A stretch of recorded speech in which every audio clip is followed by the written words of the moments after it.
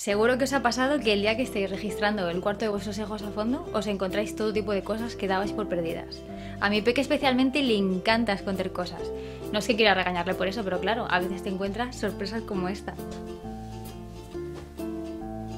Y esta mancha será de tomate, de mermelada, a saber qué será y cuánto tiempo lleva aquí. Menos mal que para esto tengo un truquito. Para manchas resecas de varios días no hay nada mejor.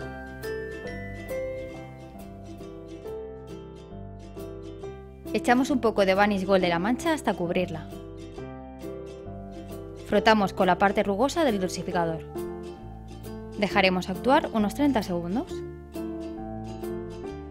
Ahora solo quedaría echar un poco de Vanish Gold con el detergente habitual en la lavadora. No es magia, es Vanish Gold.